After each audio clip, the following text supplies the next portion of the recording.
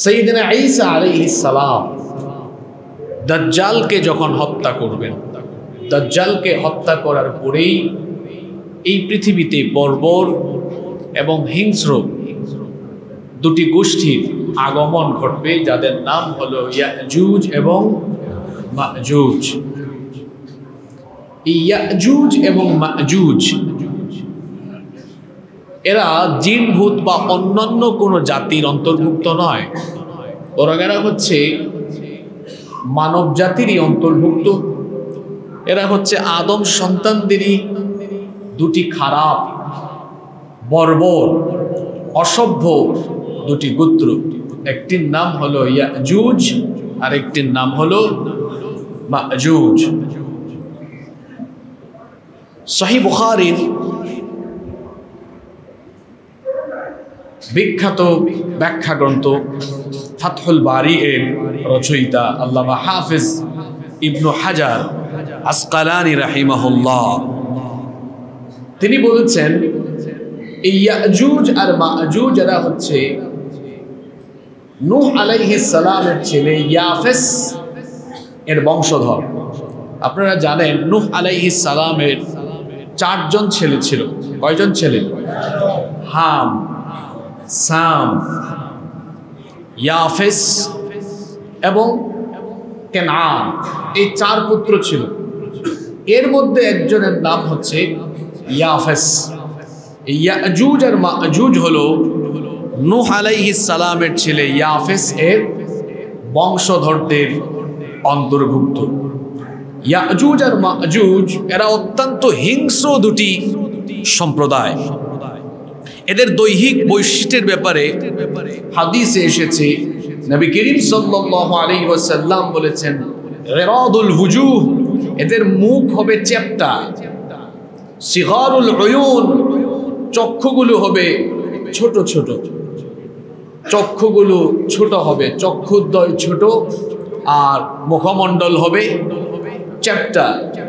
সহবশিহাফ সহবশিহাফ এবং তাদের চুলের কালার হবে লালচে কালো চুলের রং কালো থাকবে কিন্তু তার মধ্যে কিছু কিছু চুল লালও থাকবে এবং জাহান্নামীদের বেশিরভাগই হবে এই ইয়াজুজ আর মাজুজের অন্তর্ভুক্ত যেমনটি একটি হাদিস বর্ণিত হয়েছে নবী করিম সাল্লাল্লাহু আলাইহি ওয়াসাল্লাম বলেছেন يقول الله تعالى ফি দিন আল্লাহ তাআলা বলবেন, ইয়া আদম, হে আদম, আল্লাহ তাআলা যখন আদম আলাইহিস সালামকে ডাকবেন, আদম আলাইহিস সালাম তখন বলবেন তিনি বলবেন, হে আল্লাহ আমি আপনার দরবারে হাজির। সকল কল্যাণ তো আপনার হাতের মুঠায়। আল্লাহ তালা যখন আমাদের বাবা সৈদিনা আদম আলাইহিস সালামকে ডাকবেন, তিনি ডাকের সাড়া দিবেন। এরপরে আল্লাহ তালা সৈদিনা আদম আলাইহিস সালামকে অর্ডার করবেন, আখরিজ বাআসান্নার হে আদম, তুমি তোমার বংশধরদের থেকে জাহান্নামীদেরকে আলাদা করো, জাহান্নামীদেরকে পৃথক করো। বাবা আদম সালাম তখন বলবেন ওয়ামা বাসুন্নার জাহান্নামী কারা? আল্লাহ তাআলা তখন বলবেন, ক্বালা মিন কুল্লি আলফি প্রত্যেক এক হাজার জনের মধ্যে নয়শো নিরানব্বই জন, এরা হলো জাহান্নামী। এক হাজারের মধ্যে বাকি থাকল কয়জন? নবীজির জবান থেকে এই হাদিস শোনার পরে সাহাবাই কেরাম তাদের মুখটা হাসি মাখা ছিল, চেহারা মলিন হয়ে গিয়েছে, মন খারাপ। নবীজি বুঝতে পেরেছেন, নবীজি বললেন, কি ব্যাপার? মন খারাপ কেন তোমাদের? সাহাবিরা তখন বললেন, আমাদের বাবা আদম আলাইহিস সালামকে আল্লাহ যদি বলেন জাহান্নামী আলাদা করো, আর সেখানে যদি এক হাজারের মধ্যে নয়শো নিরানব্বই জন জাহান্নামী হয় তাহলে নবী গো, আমাদের অবস্থা কি হবে? আল্লাহ নবী বললেন, আবশেরো, সুসংবাদ গ্রহণ করো। কেয়ামতের দিন অন্যান্য নবীর উম্মতের চাইতে আমার উম্মত সব চাইতে বেশি জান্নাতি হবে।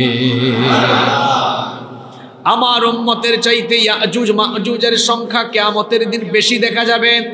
নয়শো নিরানব্বই জনেদের সংখ্যা হবে ইয়াজুজ আর মাজুজ। আর আমার উম্মত যারা এদের সকলকে আল্লাহ জান্নাত দিবেন। যারা আমার অনুসারী ছিল, শুধুমাত্র ইয়াজুজ মাজুজ ইবলিসের অনুসারী এবং ধ্বংসপ্রাপ্ত লোক ছাড়া আমার উম্মতের বাকি সবাইকে যিনি জান্নাত দিয়ে দিবেন, তিনি কে? আবার অন্য হাদিসে এসেছে, নবীজি বলেছেন, জান্নাতীদের চার ভাগের এক ভাগই হবে আমার উম্মত। সোমান আল্লাহ পড়তে ইচ্ছে করে না। আপনারা যেভাবে সবাই মিলে সুবহান আল্লাহ পড়লেন, সাহাবিরা এটা শুনে পড়েছেন, আল্লাহ আকবার। তখন নবীজি বললেন, আরও সুসংবাদ আছে, চার ভাগের এক ভাগ নয়, অর্ধেক। যত উম্মত জান্নাতে যাবে, আদম থেকে নিয়ে আমার উম্মত পর্যন্ত জান্নাতীদের অর্ধেক হবে আমার উম্মত। সুবাহান এই হাদিসটা উল্লেখ করার কারণ হলো ইয়াজুজ আর মাজুজের সংখ্যা যে কত, এই হাদিস থেকে সেটা বোঝা যায়। নবীজি বলেছেন, কিয়ামতের দিন তোমরা হবে মুষ্টিমেয়, আর ইয়াজুজ আর মাজুজের সংখ্যা হবে অগণিত। কিয়ামতের মাঠে তোমরা যখন ইয়াজুজ মাজুজের দিকে তাকাবা, ইয়াজুজ মাজুজ আর তোমাদের মধ্যে পার্থক্য হবে এমন। খুব সুন্দর একটি কথা বললেন নবীজি, সাদা গাভীর, সব পশম যদি সাদা থাকে, মাঝখানে কিছু কালো পশম থাকলে সেগুলোকে যেভাবে আলাদা করা যায় অথবা কালো গাভীর কালো পশম থেকে সাদা পশম যেভাবে আলাদা করা যায়, কিয়ামতের দিন ইয়াজুজ, মাজুজ থেকে আমার উম্মতকেও সেভাবে চেনা আলাদা করা সহজ হয়ে যাবে। সুবাহান আল্লাহ আমরা প্রথম পয়েন্ট নিয়ে আলোচনা করছি, ইয়াজুজ এবং মাজুজ কারা? এই আলোচনা থেকে সারমর্ম, খোলাসা পেলাম আমরা। ইয়াজুজ এবং মাজুজ, এরা মানুষের বাইরের কেউ নয়, এরা মানব সম্প্রদায়েরই অন্তর্ভুক্ত দুইটি খারাপ, দুষ্ট, অসভ্য, বর্বর, হিংস্র জাতি। এখন প্রশ্ন হলো, তারা কোথায় আছে? এই ইয়াজুজ আর মাজুজ, এরা কোথায় আছে এখন? ইয়াজুজ আর মাজুজ, এই দুই গোষ্ঠী, এরা দুই পাহাড়ের মধ্যবর্তী একটি জায়গায়, একটা প্রাচীরের অপোজিটে আটকা পড়ে আছে, বন্দি হয়ে আছে। আর তাদেরকে বন্দি করে রেখেছিলেন বাদশাহ জুলকারনাইন। জুলকারনাইনের নাম আপনারা অনেকে শুনেছেন, তাই না? সোরা কাহাফ আপনারা পড়বেন। জুমার দিনে তো সোরা কাহাফ আমরা তিলাওয়াত করি। সৌরাতু আল কাহাফের তিরাশি নম্বর আয়াত থেকে আপনি পড়বেন। তাহলে জুলকারনাইনের কাহিনী আপনি সেখানে পেয়ে যাবেন। তো বলছিলাম, ইয়াজুজ আর মাজুজ কোথায় আছে? দুই পাহাড়ের মধ্যবর্তী একটি জায়গায়, একটি গিরিপথে বিরাট একটি প্রাচীর নির্মাণ করে বাদশাহ জুলকারনাইন তাদেরকে আটকে দিয়েছেন। তবে কিয়ামতের আগে দাজ্জালকে যখন ঈসা আলাইহিস সালাম হত্যা করবেন, তখন ইয়াজুজ আর মাজুজ গোষ্ঠী ওই প্রাচীর ভেদ করে কিংবা এই প্রাচীরকে আল্লাহ ধ্বংস করে দিবেন, তখন এরা দলে দলে পৃথিবীতে আগমন করে বিরাট হত্যাযজ্ঞ, হিংসতা, বর্বরতা চালাবে এবং যাদেরকে মোকাবেলা করা আল্লাহর হাবিব বলেছেন, দুনিয়ার কারও পক্ষেই সম্ভব হবে না। আল্লাহ আকবর। ঈসা আলাইসাল্লাম যখন দাজ্জালকে হত্যা করবেন আল্লাহ তখন ঈসা নবীকে বলবেন, ঈসা, তুমি তোমার অনুসারীদেরকে নিয়ে, মোমেনদেরকে নিয়ে তুর পাহাড়ে চলে যাও।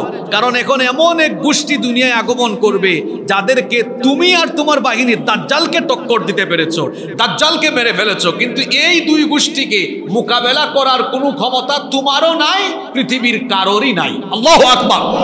তাহলে বোঝা যাচ্ছে ইয়াজুজ আর মাজুজ, এই দুই গোষ্ঠী অনেক বর্বর। হিংস্র, অসভ্য, গোটা পৃথিবীতে এরা তাণ্ডব লীলা চালাবে।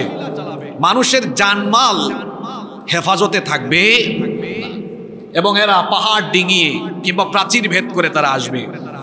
যেমনটি বলা হয়েছে, কোরআনুল করিমের একুশ নম্বর সুরাম সুরাতুল আম্বিয়া এর ছিয়ানব্বই নম্বর আয়তে রব্বুল আলমিন বলছেন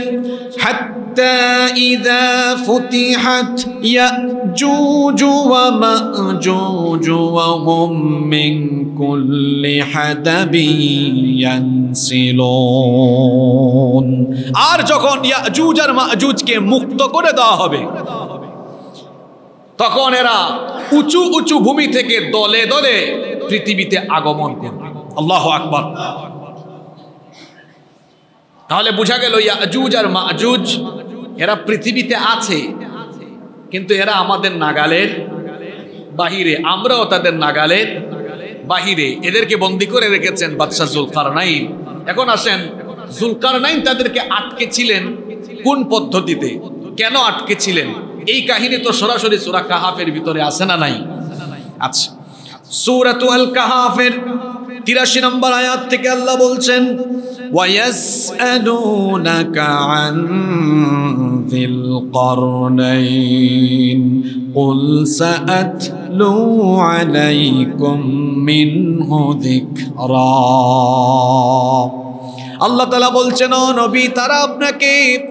জুলকার নাইন সম্পর্কে জিজ্ঞেস করেছে। জুলকার নাইন সম্পর্কে তারা আপনার কাছে জানতে চায়। আপনি তাদেরকে বলুন অচিরেই আমি তার ব্যাপারে তোমাদের কাছে বর্ণনা করব। তার পরিচয় আমি তোমাদের কাছে প্রদান করব। এরপরে রায়তে আল্লাহ বললেন, ইন্না مكنا له في الأرض وآتيناه من كل شيء سببا আল্লাহ তালা বলছেন নিশ্চয়ই আমি জুলকার নাইনকে জমিনে কর্তৃত্ব, রাজত্ব, নেতৃত্ব দিয়েছিলাম এবং রাজত্বের জন্য, নেতৃত্বের জন্য, কর্তৃত্বের জন্য যত উপায় উপকরণের দরকার, সব কিছু আমি আল্লাহ তাকে দান করেছিলাম। পৃথিবীর দুইজন মুমিন ব্যক্তিকে দিয়ে আল্লাহ গোটা দুনিয়ার বাদশাহী করিয়েছেন। একজনের নাম হলো সুলাইমান ইবনু দাউদ আলাইহিসালাম যিনি মাত্র তেরো বছর বয়সে তার বাবার রেখে যাওয়া সিংহাসনে আরোহণ করে গোটা দুনিয়ায় রাজত্ব করেছেন। সুবাহান আল্লাহ আরেকজন নবী ছিলেন না, একজন ন্যায় ন্যায়পরায়ণ বাদশাহ ছিলেন। নাম হলো, জোরে বলেন, জুলকারনাইন। তাকে দিয়েও আল্লাহ পৃথিবীর প্রাচ্য থেকে, পশ্চিম পূর্ব থেকে পশ্চিম দিগন্ত পর্যন্ত আল্লাহ তাকে দিয়ে অভিযান পরিচালনা করিয়েছিলেন আর আল্লাহর দিন তাকে দিয়ে আল্লাহ প্রতিষ্ঠা করিয়েছিলেন। সুবাহান আল্লাহ জুলকারনাইনের নাম। জুলকারনাইন কেন? জুলকারনাইন তাকে জুলকারনাইন এই কারণে বলা হয়। কারনুন মানে হচ্ছে শিং। কারনুন থেকেই জুলকার নাইন জুলকারনাইন মানে দুই শিংওয়ালা। এখন তার কি গরুর মতো দুই শিং ছিল নাকি? নাওজুবিল্লাহ। না, তাহলে জুলকারনাইন তাকে কেন বলা হয়? কোন কোন মুফাসসির বলেছেন, তার মাথার চুলের মধ্যে দুটি গুচ্ছ ছিল। এজন্য তাকে বলা হতো জুলকারনাইন আবার কেউ কেউ বলেছেন, পাশ্চাত্য আর প্রাচ্য দেশসমূহ তিনি জয় করেছিলেন এবং আল্লাহর দিনকে সমুন্নত করেছিলেন, পূর্ব থেকে পশ্চিম। এজন্য তাকে বলা হয় জুলকারনাইন আবার কেউ কেউ বলেছেন, তার মাথায় সিংয়ের অনুরূপ দুটি চিহ্ন ছিল বলে তাকে বলা হতো দুলকারনাইন। আবার কোন কোন মুফাসসির বলেছেন, তার মাথার দুই দিকে দুইটা ক্ষত চিহ্ন ছিল বলে তাকে বলা হতো কোরআন এবং সুন্নায় তার ব্যাপারে যে বর্ণনা এসেছে, তার মুদ্রা কথা, সারমর্ম কথা হলো এই, তিনি কোনো ফেরেশতা ছিলেন না, তিনি কোনো নবী বা রসুলও ছিলেন না। তিনি একজন মুত্তাকি ছিলেন, পরহেজগার ছিলেন, ন্যায়পরায়ণ ছিলেন। তিনি অনেক ক্ষুধাভীরু হওয়ার কারণে আল্লাহ তালা তার উপরে দয়া করেছিলেন, অনুগ্রহ করেছিলেন। এবং তার খোদা ভীরুতায়, আল্লাহ ভীরুতায় তিনি এত খুশি হয়েছিলেন, আল্লাহ খুশি হয়ে তাকে গোটা দুনিয়ার রাজত্ব দিয়েছিলেন সোবাহান আল্লাহ রাজত্বের জন্য, নেতৃত্বের জন্য পার্থিব যত বিষয়, উপায়, উপাদান, সরঞ্জামের দরকার ছিল। আল্লাহ সব কিছু তাকে দয়া করে দান করেছিলেন এবং পৃথিবীর তিন দিকে তিনি তিনটা বড় বড় অভিযান পরিচালনা করেছেন। চিন্তা করেন, আল্লাহ তাকে কেমন নেয়ামত দিয়েছেন? পূর্ব দিকে অভিযান তিনি পূর্ব দিকে অভিযান চালাতে চালাতে প্রত্যেকটা দেশ জয় করতে করতে করতে করতে যেখানে সূর্য উদিত হয়, ওই জায়গা পর্যন্ত তিনি চলে গিয়েছিলেন। সুবাহান আল্লাহ আবার পশ্চিমের দেশগুলো সফর করতে করতে, জয় করতে করতে, জয় করতে করতে যেখানে সূর্য ডুবে যায়, সেই এলাকা পর্যন্ত তিনি জয় করেছেন। সুবাহান আল্লাহ এই গেল দুই সফর। আর আরেকটা সফর হলো তিনি এক জায়গায় দিয়ে যেতে যেতে সফর করতে করতে কোনো কোনো মুফাসসির বলেছেন উত্তর দিকের বিরাট দুইটা পর্বতমালার মাঝখান পর্যন্ত গিয়েছিলেন এই তিনটা সফরের কথাই সূরা কাহাফের ভিতরে বর্ণনা করেছেন কে যেমন পরের আয়াত থেকে আল্লাহ তাআলা বলছেন فأتبع سببا حتى حتى إذا بلغ مغرب الشمس وجدها تغرب في عين حمئة ووجد عندها قوما আল্লাহ তালা বললেন অতপর সে একটি পথ অবলম্বন করল, অর্থাৎ একটি পথে অভিযান চালালো। যখন সে অভিযান চালাতে চালাতে পূর্ব দিকে যেতে যেতে যেতে যেতে সূর্য যেখানে উদিত হয়, সূর্য সরি, পশ্চিম দিকে যেতে যেতে, পাশ্চাত্যের দিকে যেতে যেতে যেতে যেতে সূর্য যেখানে ডুবে যায়, সূর্য যেখানে অস্ত যায়, সেখানে পর্যন্ত তিনি যখন পৌঁছালেন, তখন তিনি ওয়াজা দাহা সেখানে পেলেন। تغرب في حي في عين حمئة ووجد عندها قوما পশ্চিম দিকে যেতে যেতে তিনি লক্ষ্য করলেন সূর্য কর্দমাক্ত পানির ঝর্ণায় অর্থাৎ ঘোলা পানির মধ্যে পঙ্কিল জলাশয়ে সূর্য অস্ত গমন করছে আপনারা যারা মাঝে মাঝে কক্সবাজার যান অথবা পতেঙ্গা সি বিচে যান, দেখবেন সূর্যাস্তের সময় সাগর তীরে দাঁড়ালে বিচে দাঁড়ালে মনে হয় যেন সূর্য সমুদ্রের পানির ভেতর দিয়ে ডুবছে। এরকম মনে হয় না? এরকমই অনুভূতি হয়। জুলকারনাইন যখন পশ্চিম দিকের দেশগুলো জয় করতে করতে করতে করতে এমন একটা জায়গায় পৌঁছালেন যেখানে আর কোনো মাটি নাই। সেখানে কর্দমাক্ত ঘোলা পানি পেলেন তিনি দেখলেন সেই ঘোলা পানির মধ্য দিয়ে সূর্য ডুবে যাচ্ছে আর সেখানে গিয়ে তিনি এক সম্প্রদায় পেলেন সেই সম্প্রদায় পাওয়ার পরে আল্লাহ তাআলা তখন তাকে জানিয়েছিলেন তাকে বলেছিলেন قلنا يا ذا القرنين إما أن تعذب وإما أن تتخذ فيهم حسنا আল্লাহ তালা তখন তাকে বলেছিলেন হে জুলকারনাইন তুমি চাইলে এই সম্প্রদায়ের লোকদেরকে আজাব দিতে পারো শাস্তি দিতে পারো অথবা তাদের ব্যাপারে তুমি সদাচরণও করতে পারো তখন জুলকারনাইন বলেছিলেন قال أما من ظلم فسوف نعذبه ثم يرد إلى ربه فيعذبه عذابا نكرا জুলকারনাইন তখন বলেছিলেন এই সম্প্রদায়ের যে ব্যক্তি সীমা লঙ্ঘন করবে জুলুম করবে আমি অচিরেই তাকে শাস্তি দিব অতপর তাকে তার রবের নিকট ফিরিয়ে নেওয়া হবে আর যখন সে তার রবের নিকট চলে যাবে তাকে আরো কঠিন আজাব চিনে দিবেন তিনি কে তিনি আরো বলেছিলেন ওয়া আম্মা মান آمن وعمل صالحا فله جزاء الحسنى وسنقول له من আর যে ব্যক্তি ইমানের এনে সৎ কাজ করবে, তার জন্য রয়েছে উত্তম পুরস্কার। আর আমি আমার ব্যবহারে তার সাথে নরম কথা বলব, সুন্দর আচরণ করব। তাহলে এতটুকু আলোচনা থেকে আমরা পেলাম, আমরা জানতে পেলাম। আল্লাহ তালা সেইদিনা জুলকারনাইনকে পশ্চিম দিকের দেশগুলো জয় করাতে করাতে বিজয় দিতে দিতে তিনি একেবারে সূর্যাস্তের এলাকা পর্যন্ত চলে গিয়েছিলেন।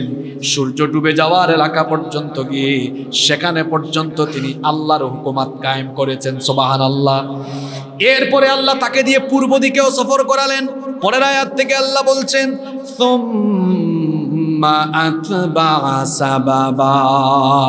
এরপরে সে অতপর সে আরেক পথ অবলম্বন করল অর্থাৎ আরেকটি অভিযান প্রেরণ করল। পূর্ব দিকের অভিযান আরম্ভ হলো পূর্ব দিকের অভিযান আরম্ভ করে যেতে যেতে কোথায় গেলেন আল্লাহ তালা বললেন حتى إذا بلغ مطلع الشمس وجدها تطلع على قوم لم نجعل لهم من دونها سترا আল্লাহ তালা বলছেন পূর্ব দিকে সফর করতে করতে সে যখন সূর্যোদয়ের স্থানে এসে পৌঁছালো, যেখানে সূর্য উদিত হয়। তখন সে সেখানে দেখতে পেল, এমন এক জাতির উপরে দিয়ে সূর্য উদিত হয়, যাদের জন্য আমি সূর্যের বিপরীতে কোনো আড়ালের ব্যবস্থা করিনি। মুফাসসিরগণ, এই আয়াতের ব্যাখ্যায় লিখেছেন, অর্থাৎ সেই জাতির লোকেরা মরুভূমিতে উলঙ্গ হয়ে বসবাস করত। কোনো কাপড় চোপড় গায়ে ছিল না। সূর্য সরাসরি এসে তাদের গায়ে লাগতো। আল্লাহ তালা জুলকার নাইনকে পূর্ব দিকে সফর করাতে করাতে, পূর্ব দিকের সবগুলো দেশ একটার পর একটা দেশ, জয় করতে করতে করতে করতে সূর্য উদয় যেখানে হয়, সেখানে পর্যন্ত তিনি পৌঁছে গিয়েছিলেন। আল্লাহ আকবার। পূর্ব দিকের সব দেশ জয় করিয়েছেন, পশ্চিম দিকের সকল দেশও আল্লাহ তাকে দিয়ে সফর করিয়েছেন। এরপরে আল্লাহ তালা তাকে এমন একটি জায়গা সফর করালেন। আল্লাহ তালা বলছেন। অতঃপর সে আরেক পথ অবলম্বন করল, অর্থাৎ আরেকটি অভিযান প্রেরণ করল। অভিযান প্রেরণ করে যেতে যেতে এমন জায়গায় গেলেন যে ইয়াজুজ ঘটনা আমরা বলছি, এবার সেই কাহিনী এখানে এসেছে।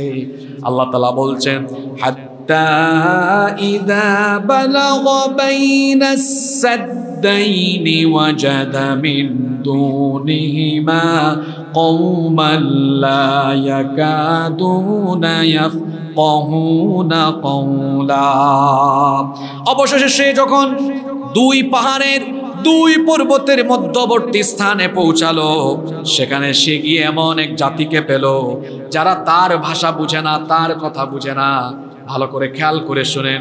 সৈয়দানা জুলকারনাইন যেতে যেতে দুই পাহাড়ের মাঝখানে এমন এক এমন এক এলাকায় গেলেন। যে এলাকার লোকদের ভাষা তিনি বুঝেন না, কারণ পৃথিবীতে তো বহু গোত্রের, বহু জাতির মানুষ আছে যাদের ভাষা একরকম নয়, অভিন্ন ভাষা। তিনি সেখানে যাওয়ার পরে সেই অঞ্চলের লোকেরা তাদেরকে বলল কলোয়া ইন্নায়া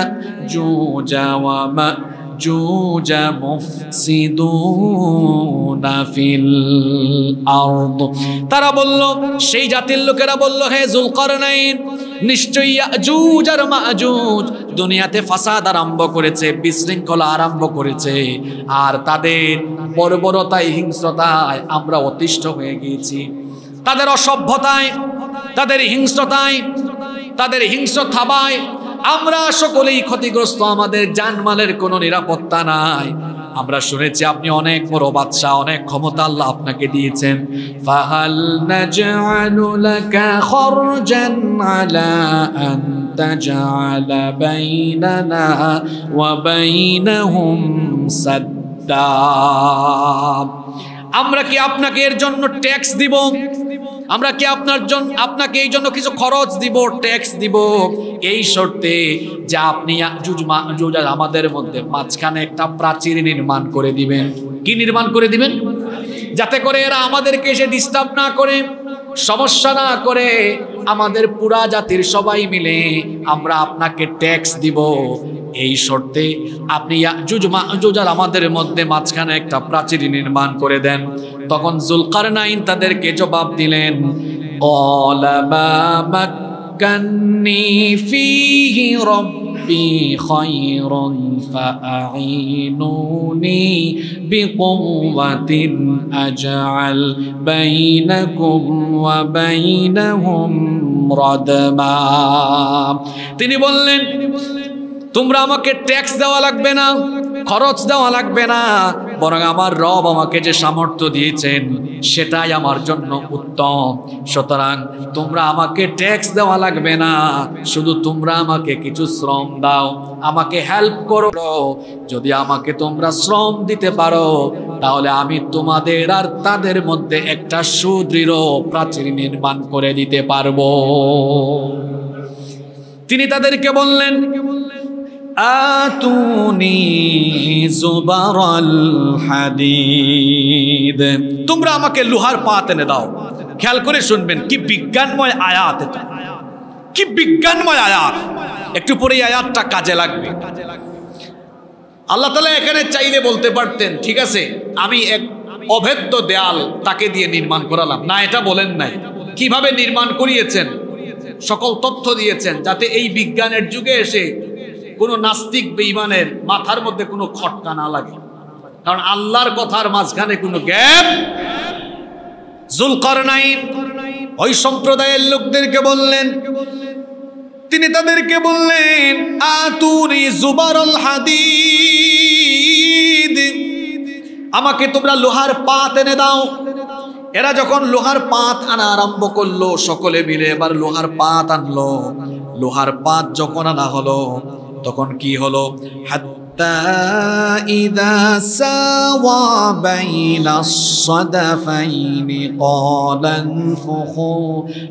ইদা ইদা আল্লাহ তাআলা বলছেন, সে যখন বলল, তোমরা সবাই মিলে লোহার পাত আনতে থাকো। লোহার পাত এনে এনে যখন দুই পাহাড়ের মাঝখানে পাতগুলোকে একত্রিত করা হলো, এখন এই পাতকে তো জোড়া না লাগালে এটা থাকবে? জোরে বলেন ঠিকবে তো সেই জাতির লোকেরা নলার মধ্যে ফু দিয়ে, নলার মধ্যে ফু দিয়ে বাতাস প্রবাহিত করতে জানতো, তামার ধাতু ব্যবহার করতে জানতো। তিনি বললেন, এবার সবাই মিলে ফু দেওয়া আরম্ভ করো। সবাই মিলে ফু দিয়ে আগুন ধরালো, আর সেই আগুন লোহার পাতে ধরিয়ে দেওয়া হলো। আচ্ছা বলেন তো দেখি, লোহার পাতে আগুন লাগালে লোহা কি হয়ে যায়? জোরে বলেন। গলে গিয়ে তারপর কি হয়? এখন কি আর এতগুলো ধাতু থাকবে? না সব ধাতু মিলে একটা শক্তিশালী দেয়াল হবে? জোরে বলেন। শক্তিশালী একটা দেয়াল হলো। এরপরে তিনি তাদেরকে বললেন, কলা আতুনি আফ্রিকা আলাইহা কিতরা। এবার তোমরা আমাকে কিছু তামা এনে দাও। আগে লোহার পাত আনা হয়েছে। আর এখন কি বললেন? আগুন ধরাইয়া যখন এটাকে শক্তিশালী দেয়াল বানানো হলো, বলেন এবার তামা আনো। তামা গলিয়ে আমি এই তামাকে এবার এই প্রাচীরের উপরে ঢেলে দিব। সুবাহান আল্লাহ এবার সেটাকে তামা গলিয়ে সেই প্রাচীরের উপরে কি করে দেওয়া হলো? ঢেলে দেওয়া হলো। এখন এটা শক্তিশালী এবং দুর্ভেদ্য একটি দেয়াল হয়ে গেল। এখন শোনেন, এই যে প্রাচীর নির্মাণ করা হলো, এই প্রাচীর তারা টপকিয়ে অতিক্রম করে বের হতে পারে না, আবার এই প্রাচীর ছিদ্র করেও তারা বের হতে পারে। আল্লাহ তালা বলছেন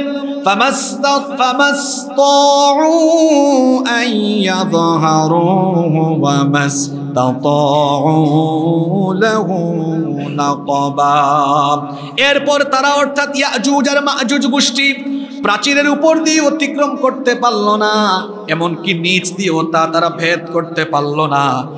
সুলকারনাইন যখন একটা শক্তিশালী প্রাচীন নির্মাণ করে দিলেন, ক্রেডিটটা তিনি নিজে নিলেন না। তিনি তখন তাদেরকে বললেন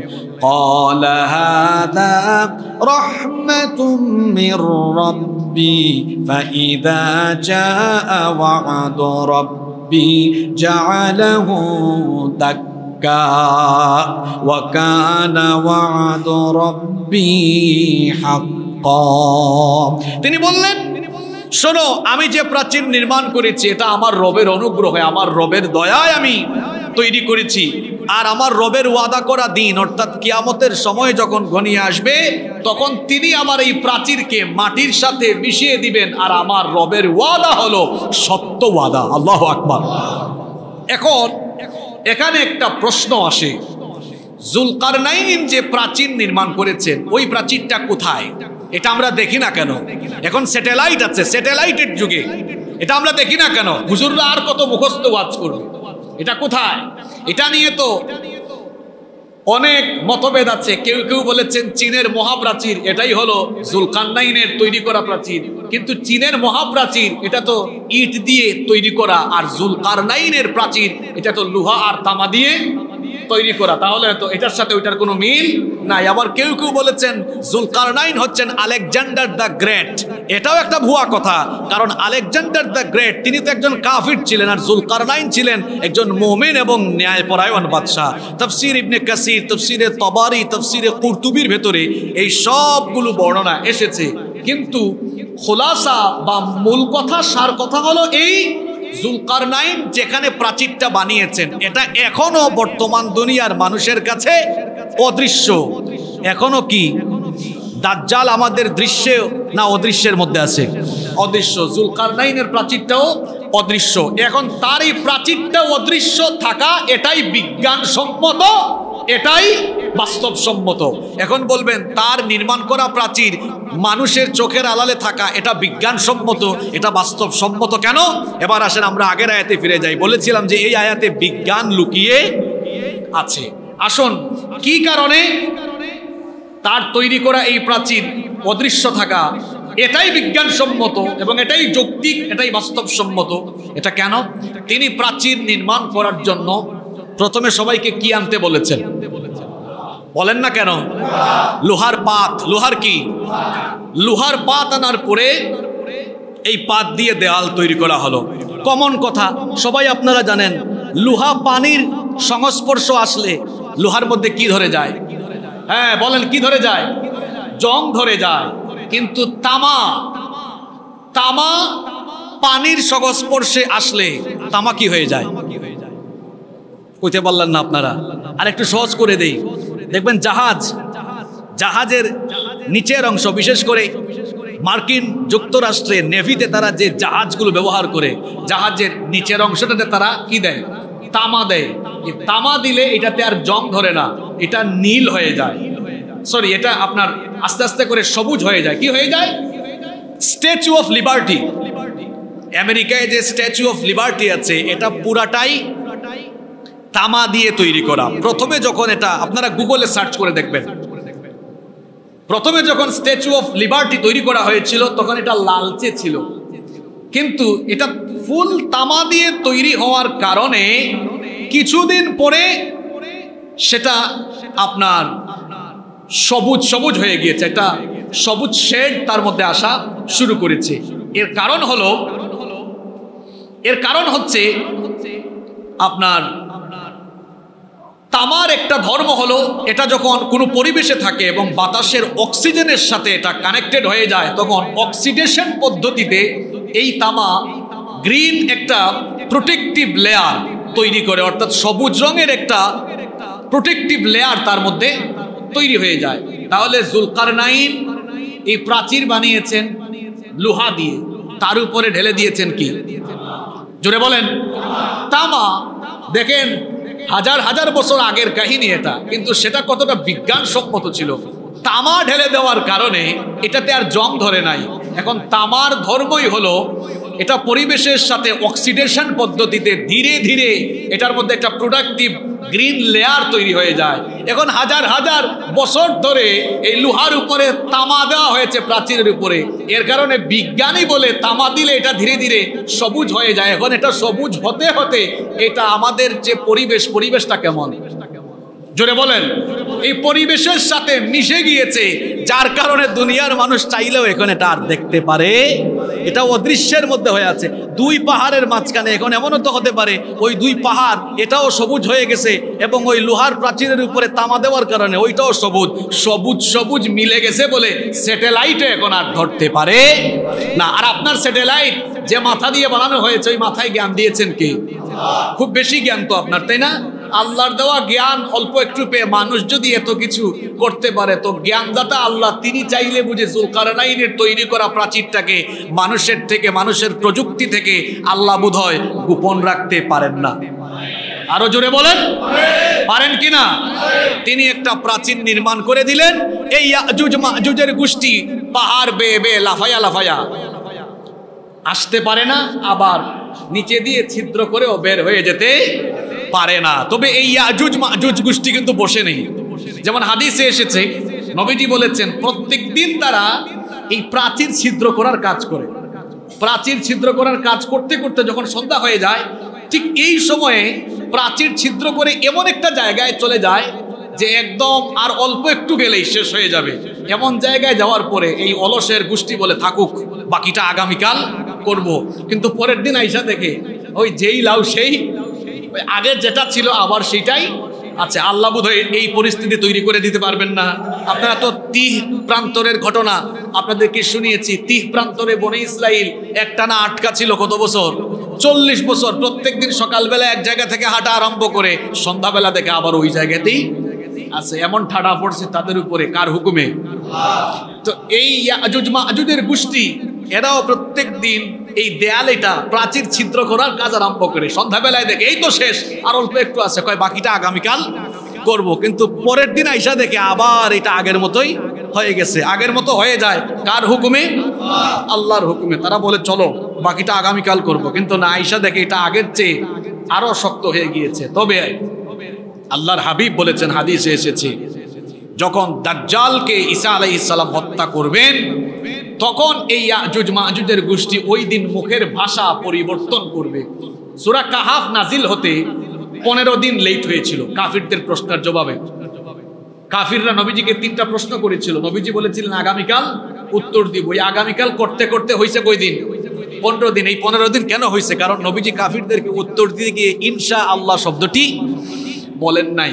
এখানে এই আজুজ মাজুজের গোষ্ঠী সারা জীবন আগামীকাল করব আগামীকাল করব বলতেই থাকবে। কিন্তু যেদিন দাজ্জালকে হত্যা করা হবে, সেই দিন আজুজ মাজুজের গোষ্ঠীর মুখে দিয়ে বের হবে, জবান দিয়ে বের হবে। ইনশা আল্লাহ আগামীকাল বাকি কাজ আমরা শেষ করব। যেদিন তারা ইনশা আল্লাহ বলবে ওই দিনের পরের দিন এসে দেখবে আগের দিন কাজ যেখানে আটকা রেখে গেছে, কাজ ওইখানেই আছে। এবং সেই দিন তারা আল্লাহর হুকুমে দেয়াল ছিদ্র করবে। শুধু দেয়াল ছিদ্র নয়, কোনো কোনো বর্ণনা এসেছে, আল্লাহ নিজে থেকেই এই দেয়ালটাকে, প্রাচীরটাকে ধ্বংস করে দিবেন। ইয়াজুজ মাজুজ নামক সেই বর্বর, অসভ্য, হিংস্র গোষ্ঠী পৃথিবীতে এবার দলে দলে আগমন করবে। যখন এরা আসবে ঈসা সালাম, তখন মুমিনদেরকে নিয়ে এদের যন্ত্রণায় তুর পাহাড়ে গিয়ে একটা গিরিপথে আশ্রয় নিবে। আল্লাহ আকবার। তাহলে বোঝা যাচ্ছে খুব কঠিন পরিস্থিতি তখন। মোমেনরা বিভিন্ন দুর্গে গিয়ে আশ্রয় নিবে, কেউ কেউ পাহাড়ে গিয়ে আশ্রয় নিবে। আর এই গোষ্ঠী, ইয়াজুজ মাহুজ গোষ্ঠী, এরা কেমন শোনেন? এরা বের হয়ে মানুষের ঘর বাড়ি নষ্ট করবে। মানুষের ফসলের খ্যাত শেষ করে ফেলবে। হাদিসে এসেছে, বুহাইরাতু তবরিয়া, যেটাকে বলা হয় দ্য সি অফ গেলিলি এই বুহাইরা তবরিয়া উপসাগর দিয়ে যখন ইয়াজুজ মাহুজের এক দল আসবে, গোটা উপসাগরের পানি তারা পান করে ফেলবে। এরা যে সাগর দিয়ে যাবে, সেই সাগরের গোটা সাগরের পানি খেয়ে শেষ। আপনাদের কি মনে হয়? এরা স্বাভাবিক না অস্বাভাবিক? কথা বলেন। এরপরে তাদের পিছনে আরেক দল আইসা গোটা সাগরকে যখন শুকনা দেখবে, তারা ভাববে, পৃথিবীতে কোনো সাগরই মনে হয়েছিল না। এমন রাক্ষসের রাক্ষস। এই রকম করে গোটা পৃথিবীকে এরা একটা গোটা দুনিয়াকে তারা তাণ্ডব লীলায় পরিণত করবে। মানুষের জানমালের কোনো নিরাপত্তা থাকবে না। আর এদের ভয়ে মানুষ পালাতে থাকবে। এরা একটা সময় দেখবে তাদের চারপাশে কোনো মানুষ নাই। তখন তারা একটু ভাব নিবে। দেখছ, গোটা পৃথিবী আমরা শেষ করে ফেলছি। জমিন শেষ, এখন থেকে আসমানে কেউ আছে কিনা। তখন তারা একটা তীর আসমানের দিকে ছুড়বে যে আসমানওয়ালাকে শেষ করে দিবে। তো আল্লাহ তালাও তখন এই অসভ্য গোষ্ঠীর মনোবাসনাকে পূরণ করার জন্য ওই তীরের আগায় কিছু রক্ত লাগাই দিবেন। তীর যখন ফিরে আসবে, তারা বলবে, দেখছ কি পাওয়ার আমাদের?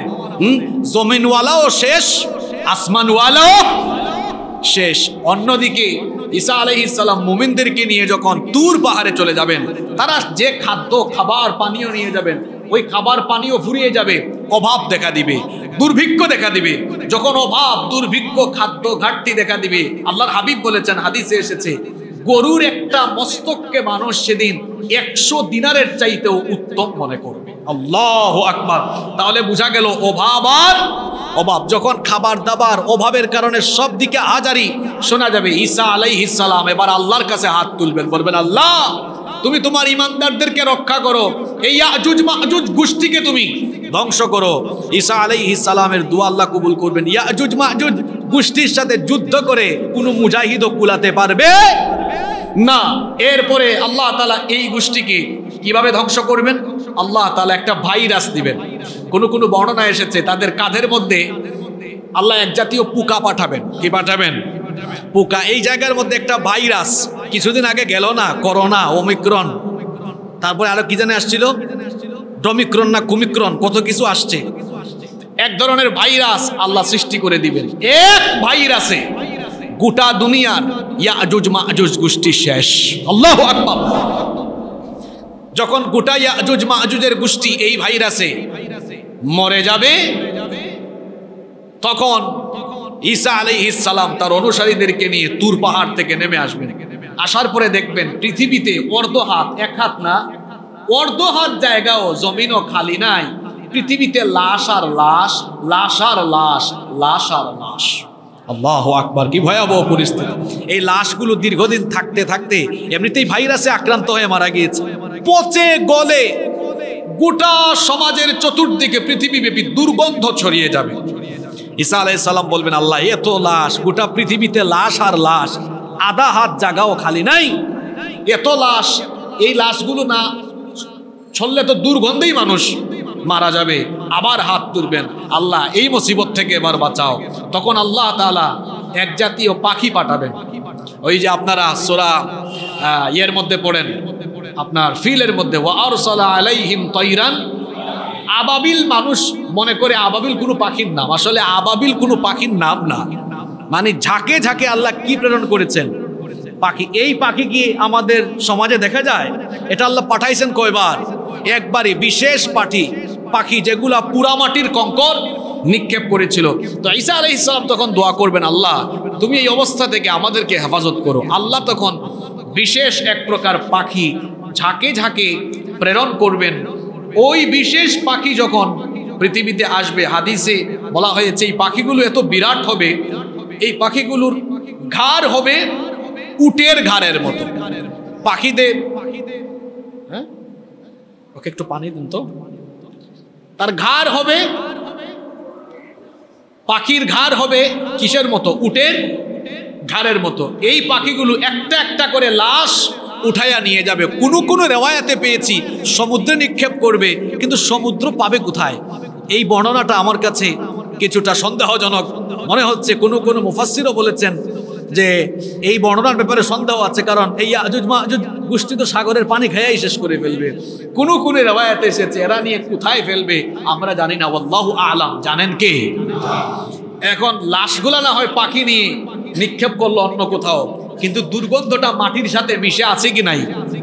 এবার ঈসা নবী আবার ঈসা আলাইহিস সালাম দোয়া করবেন, আল্লাহ গোটা জমিনটাকে পবিত্র বানাও এই অপবিত্র ইয়াজুজ মাহুজ গোষ্ঠীর কারণে তো জমিনটা অপবিত্র হয়ে আছে। এবার আল্লাহ তাআলা এমন এক বৃষ্টি দিবেন, পৃথিবীর এক ইঞ্চি জমিনও সেই বৃষ্টির বাহিরে থাকবে না। পৃথিবী ব্যাপী সাংঘাতিক আকারের প্রচণ্ড বেগে বৃষ্টিপাত আরম্ভ হবে সোবাহান একটা বৃষ্টিপাতের মাধ্যমে গোটা পৃথিবীর জমিনকে আল্লাহ তালা কাচের মতো পরিষ্কার এবং পবিত্র বানিয়ে দিবেন সোবাহান আল্লাহ গোটা পৃথিবী, গোটা দুনিয়া যখন পরিষ্কার হয়ে যাবেন, আল্লাহ মাটিকে আদেশ করবেন, হে মাটি, হে জমিন, তোমার গর্ভ থেকে, তোমার পেট থেকে তুমি পবিত্র এবং বরকতময় রিজিক উদ্গত করো। আল্লাহ কিছু বললে, করতে চাইলে শুধু কুন বলেন ফাইয়া কুন হয়ে যায়, সঙ্গে সঙ্গে হয়ে যায়। কারণ তিনি হচ্ছেন মহাবিশ্বের মালিক, মহাবিশ্বের রব। আল্লাহ যখন বলবেন, মাটি তোমার গর্ভ থেকে পবিত্র এবং বরকতময় ফসল উৎপন্ন করো। হাদিসে এসেছে, তখন এত পরিমাণ ফসল উৎপন্ন হবে যা পৃথিবীতে এর আগে কখনো হয় নাই। সুবাহান আল্লাহ এবং বলা হয়েছে, এগুলোর মধ্যে এত বরকত থাকবে, একটা ডালিম ডালিম জেনেন তো আপনারা? একটা ডালিম কেউ একজন খেলে ওই লোকের পেট ভরে যাবে। এবং ডালিমের যে ছাল থাকে না, ছাল। আমরা যে ডালিম খাই, ডালিমের ছালগুলো তো খুব ছোট। নবীজি বলেছেন যে সেই ডালিমগুলো এত বড় হবে যে মানুষ ডালিমের ছাল দিয়ে ছাতা বানায় আর ছাতা ব্যবহার করতে পারে। সুবাহান আল্লাহ শুধু তাই নয়, দুধ, গরু, ছাগল, গাভী, ছাগল, উটনির দুধে এত বরকত থাকবে। নবীজি বলেছেন, একটা উষ্ট্রির দুধ এক বিরাট দলের মানুষ পান করতে পারবে। একটা গাভীর দুধ, একটা গোষ্ঠীর মানুষ পান করতে পারবে। একটা ছাগলের দুধ পুরা পরিবার খাবে, তারপরেও শেষ হবে সোমান্লা পড়বেন না? এই বরকতময় খাবার দিবেন কে? আরও জোরে বলেন কে? এরকম বরকত চলবে কত বছর? চল্লিশ বছর। হাদিসে এসেছে, এই রহমত আর বরকত চলতে থাকবে কত বছর? চল্লিশ বছর। ওই চল্লিশ বছর শেষ হয়ে যাওয়ার পরে মুসলিমদের বগলের নিচে এক ধরনের রোগ দেখা দিবে এবং এটা কোনো কোনো রেওয়ায়ত এসেছে এটা ঠান্ডা বায়ু লাগবে। আর এটার মাধ্যমে সব মোমেনরা মারা যাবে। দুষ্ট, কাফের লোকেরা অপবিষ্ট, এরা অবশিষ্ট থাকবে যারা জানুয়ারের চাইতে আরও খারাপ হবে। সরাসরি সরাসরি তখন যৌনতা দেখা দিবে। আর ওই গোষ্ঠীর উপরে তখন যখন একজন আল্লাহওয়ালা মানুষ থাকবে না, তখন কিয়ামতের ঘটনা সংগঠিত। মাঝখানে কত বছর? চল্লিশ বছরের ভিতরে আরও কাহিনী আছে। সেই কাহিনীগুলো কি? ইয়াজুজ মাজুজ তো কীভাবে আসবে? আবার এরা কীভাবে ধ্বংস হবে? এটা আজকে আমরা শুনলাম। আগামী জুমায় আমরা শুনব। এরপরে দাব্বাতুল আর্দ, বিশেষ প্রাণী বের হবে। বড় বড় তিনটা ভূমি ভূমিধস হবে। ধোঁয়া আসবে। কিয়ামতের বড় বড় আলামত কয়টা কয়টা? জোরে বলেন। দশটা, দুই জুমায় বলছি কয়টা? তিনটা, বলছি কয়টা? বাকি আছে? সাতটা, এগুলো আমরা আগামী জুমায় আলোচনা করব ইনশা আল্লাহ আজকে আমরা আলোচনা করেছি ইয়াজুজ, মাজুজ কারা? তারা কোথায় আছে? কখন আসবে? কীভাবে আসবে? কীভাবে ধ্বংস হবে? সব বর্ণনা আমরা কোরআন সন্ন্যার আলোকে করেছি। আগামী জমায় আমরা তার পরবর্তী অংশ থেকে আলোচনা শুরু করব ইনশা আল্লাহ